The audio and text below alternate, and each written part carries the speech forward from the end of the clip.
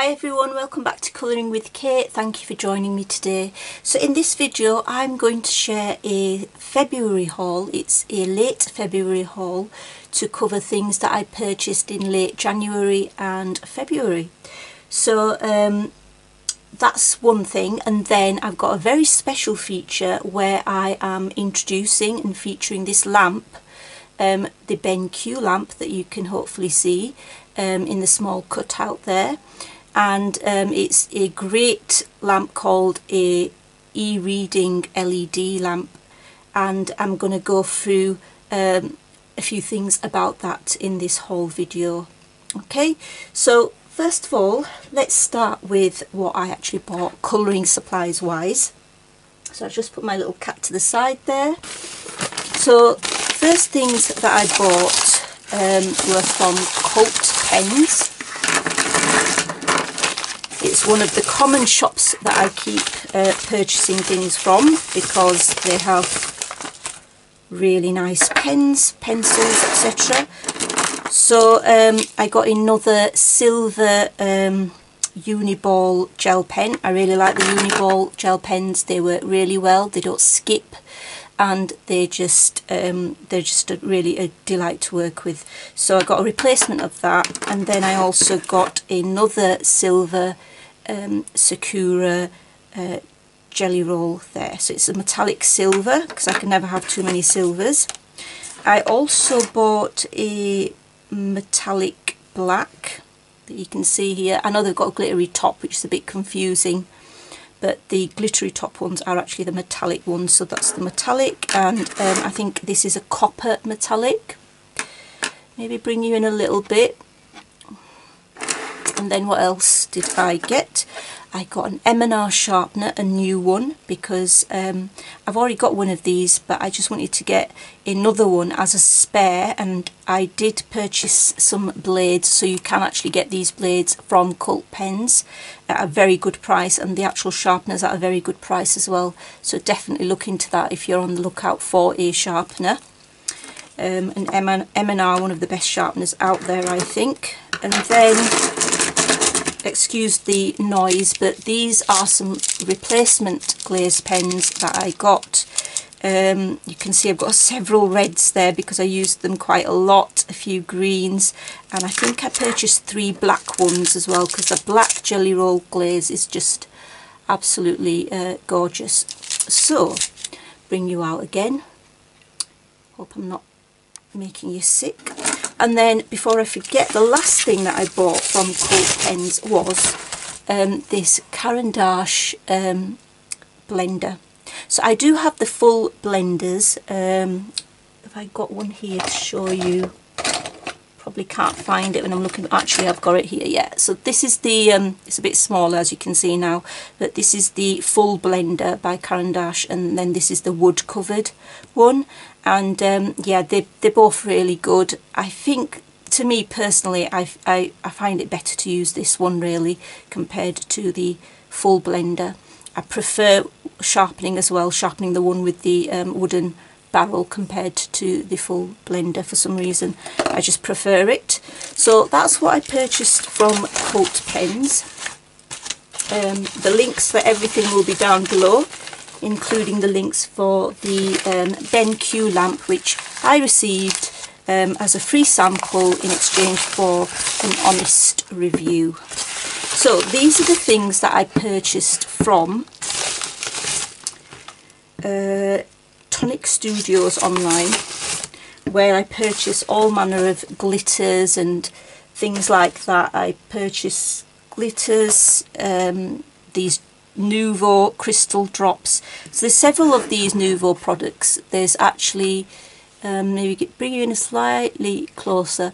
Um, I've got this Nuvo glitter drops, which are absolutely beautiful. Um, and then you've got the Dream Drops as well. Some more Dream Drops. That was Dream Drops. Where's the colour? Somewhere here it will be there it is indigo eclipse. So dream drop drops indigo eclipse.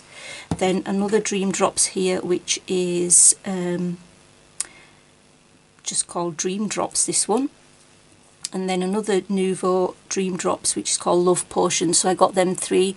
They are quite pricey. I think they're about six pounds um, for one bottle but their bottles are quite big so they will last you ages and they give a very beautiful effect. Um, I have forgotten the little swatch sheet which I'm going to go and get in a second to show you. And then I got the Nuvo, um, what is it? What is it? Crystal Drops Duck Egg Blue. And then the Glitter Drops um, this is just called Silver Crystals and then I just got some of this Nuvo Pure Sheen Glitter which is um, just loose glitter basically. I just really like the colour and it was for a cheaper price. It was on sale so I purchased it. So I'm just going to go and get my um, swatches for you. So I don't think I've done a swatch of this Pure Sheen glitter but I have got swatches of all these um, different types of Nuvo drops. Uh, so I'll just show you that. So then this one bring it up to the camera here. This one here is Dream Drops Love Potion. So it's like a pinkish colour. You've got Dream Drops Cloud 9, Dream Drops Fairy Wings, which is quite similar to the Cloud 9 one. Um, I can't really tell the difference that much. This is a bit more pink. But then they look very similar to me. Um, Dream Drops Indigo Eclipse. And then, oh I really like this one, the, the Glitter Drop Silver Crystal. I can actually see the glitter pieces in them and then the Nuvo Crystal Drops Duck Egg Blue. Now these are dimensional, so you know they are raised, um, they're not flat, but they would be great for PDF pages or I suppose single-sided pages will, will be okay and just put some paper behind it when you colour the other image. So those were all from Tonic Studios. So I shall put them to the side. So what else did I get? So from Amazon I got this um, wooden box. And the reason I got this wooden box was because I generally colour on the couch uh, on the sofa in front of the TV um, and I just have like a desk a small little um, desk there that I just work on. Um, it's just like a a little table, nothing special, nothing, something that can just put to this, be put to the side. Um, and so on the coffee table near me, I, I want to have the things that I use near me, so all my accessories. So I have got a separate video coming up on the accessories I keep in here. But for now, um, just to say that I got this from Amazon and it's really nice because, you know, all the things I need I can just put in there. So that was one thing that I purchased. Um, and then another couple of things I purchased from Amazon were um, this, which is the uh, Dragonfly Glaze. And I'm just going to show you a swatch of that because I did do one. So this is um, by Folk Art. So it says colour changing top coat. So you do actually put this as a top coat on, you know, an acrylic paint or really anything. I, I even tried it on pencil, so I'll show you what that looks like. And then I also got the um, uh, Colour Shift, which is acrylic paint metallic gloss finish. And it's a silver flash um, one that I purchased. So those two, I just wanted to, rather than get a full pack, I just wanted to try them out. So that's the Folk Colour Shift. You can see when it's on its own, that's the sort of colour that you get. It is silver, but you can see this pale pink colour. On top of black Posca, it looks pretty much similar to me over black acrylic and, and over another pink chiffon acrylic paint. And then the Dragonfly Glaze, if you don't put anything underneath it, that's what it looks like. Uh, just a very fine glitter. On top of some pencil, it just accentuates the colour of the pencil, I feel, and makes it glittery and then over black acryl acrylic um, I don't know if you can pick that up actually. I can see it but I don't know if the camera you can see the actual it just looks bluish there. And then over pink chiffon and over black Posca. So yeah those are those two speciality paints. Right so here I'm going to put in my little uh, special feature of the uh, Ben Q uh, e-reading LED lamp in this segment I'm going to discuss the e-reading lamp that I received from BenQ um, so I received a free sample of this in exchange for an honest review.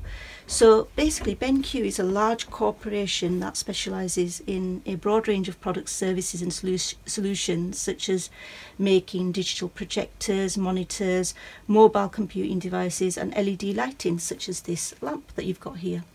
So um, I'm going to go through a few features of the lamp. So it's an e-reading desk lamp, an LED one, and I'm going to go through the features and why um, I personally believe that it is quite a good buy for our colouring hobby. So um, here is the sort of circular power button which you just touch on and uh, you can turn off with touch um, and then what we have is this rotary dial that you can see here and that is adjustable for brightness. At the moment I've got it on quite bright and then if I turn it anti-clockwise, I hope you can see it, it goes dimmer.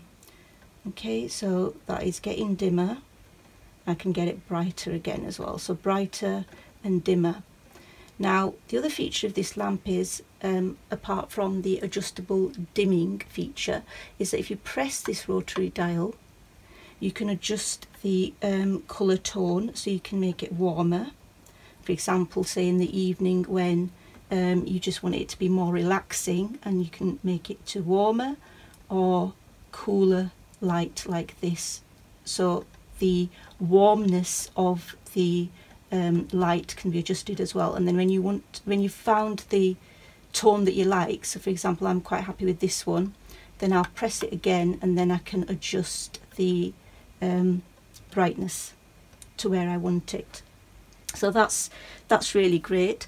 Then you've got this arm here, which is also uh, fully adjustable, um, how you want, which I shall hopefully remember to do in a, in a moment. But that is fully adjustable, and you can adjust the actual lamp here as well to where you want it. Okay. Um, the other thing is uh, you can actually use the automatic dimming mode. So what will, if you say press this um, on and off switch, but you press it for two seconds like this. Oops, I've switched it off. Just bear with me. So this orange indicator light comes on. That orange indicator light, um, when it lights up orange, means that the lamp automatically adjusts to the um, you know ambient lighting condition and gives you the optimal brightness so you don't have to set it it'll set it automatically to the best lighting conditions for you so this is a picture that I'm currently colouring and you can see how detailed the image is uh, the image is. It's from the mythographic frozen fantasies. Um, and of course the the best thing for me is good lighting because without good lighting you're not going to get a great colouring experience. So I would probably leave it on this being the best feature that for me personally um, this adjustable automatically providing the optimal brightness for for the colouring um, there are I'm going to go through why specifically for colouring apart from that feature that I've just mentioned, which is personally my preference, most, you know, sold it to me basically. Um, the best thing that I find with this um, is the lamp itself, from the shape of it, as you can see, um, is gives a really wide lighting coverage. This is all sort of lit up my whole area. Um, there's enough lighting so that my eyes don't feel feel strained um, so that will reduce eye fatigue, especially for um, older people like myself when um, you know presbyopia nearsightedness becomes more of an issue. Um, and uh, I like the fact that you can adjust to the warmer tones, say if you want the warmer tones in the evenings. Um, and it just gives you a more just you know a more enjoyable colouring experience. So um, what I'm going to do is I'm going to use this lamp at this setting I'm just going to bring the camera in a little bit so that you can see the features that I'm going to colour. So I'm going to colour these tiny little flowers. Can I bring you in any more? Let me see. There we go. So let's go with, say, light pink. So I'm using fine liners for these detailed bits.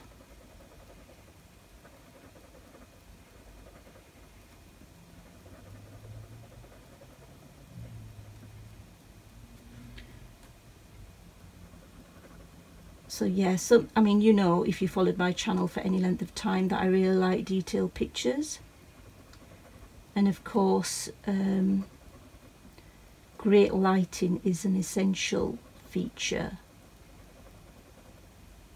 for colouring your detail pictures for obvious reasons and then we're going to go over these circular bits which I'm just going to go like that um,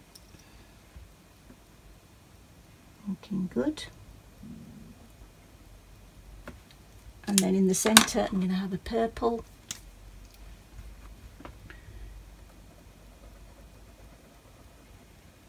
Try to use a limited palette on this picture. So yeah, thought I'd do a tiny little demo of it. Um, so there we go coloured piece. I'm going to do the rest in those colours, of course, because I've got them on the other side. But back to the lamp.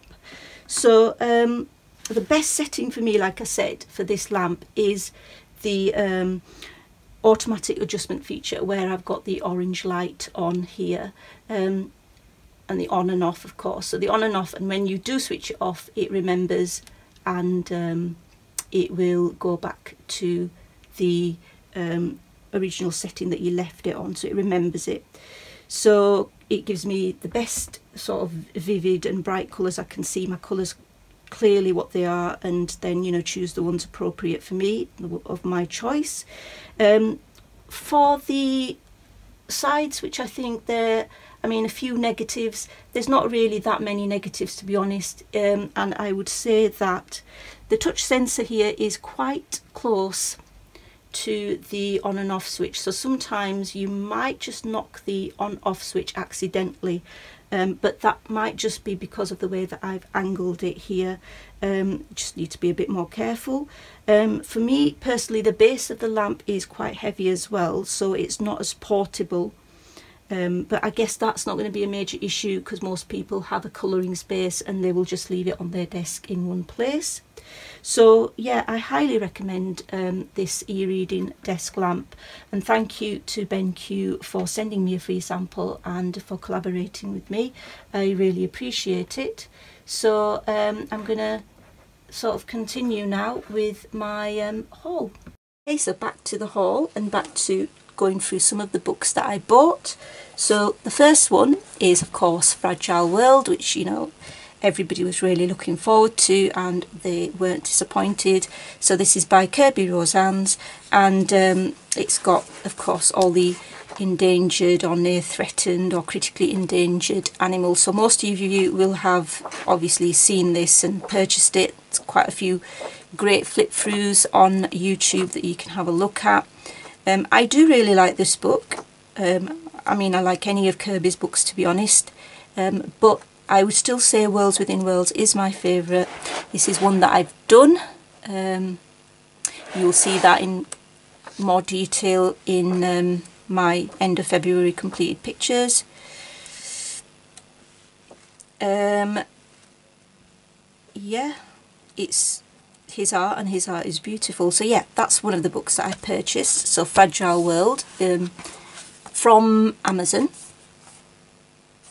And then um, I finally got the Creative Haven butterflies. I was waiting on Amazon for ages to, to, to receive this and um, it never came um, for some reason and so then I cancelled it and ordered it from Book, the Book Depository. So yeah, um, love Creative Haven books. That's one again that you'll see in the end of February complete pictures.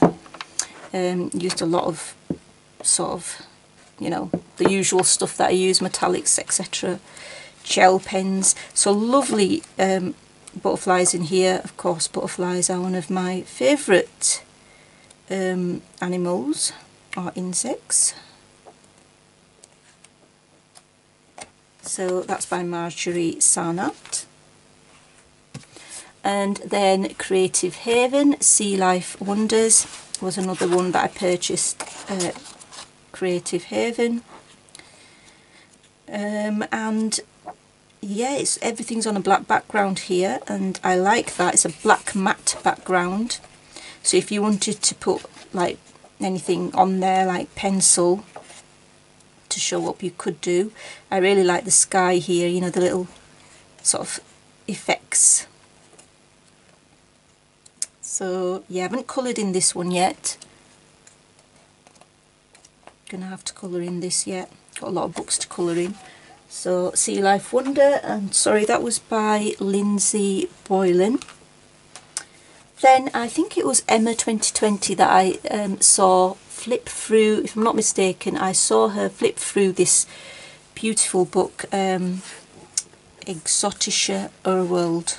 Might have said that wrong. So it's a German book. I did wait quite a while for this book to arrive, but it was worth it. It's by Good Wives and Warriors, um, and it's just an absolutely beautiful book. Um, and I'm so, you know, pleased that I watched her video because I finally took the plunge in getting it because I had seen it before because it's not a new book.